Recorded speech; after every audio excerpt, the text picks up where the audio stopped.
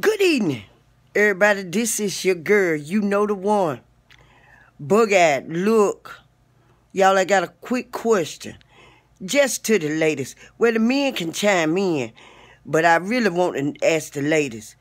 Ladies, at what age is it that you stop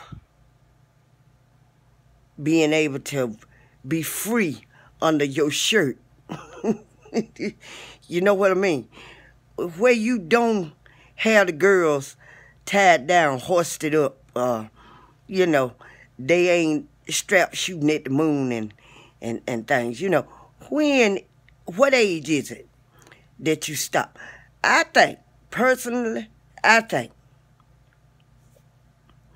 if you have bypassed the age of perkiness, if they ain't setting up there by themselves, if when you take that jacket off and them them bad boys drop down to your stomach, if they drop down to your navel,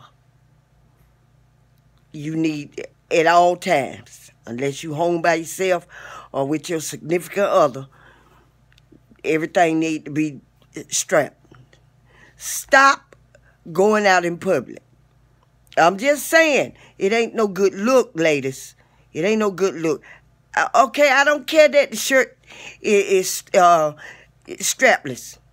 Get you some kind of bra to go up under them and hold girls together. Make them, make them look like they're perky. Stop coming out, and then you got the nerve. They have a shoulder bag. That is real ugly. That's all I'm gonna say. I'm gonna leave it at that. Just somebody chime in and let me know what age is it that you stop. I said stop at the age of perkiness. Somewhere in your twenties. If you start sagging after 20, know that every time you step out, you need one on. Holler at me, why don't you? I'm just saying.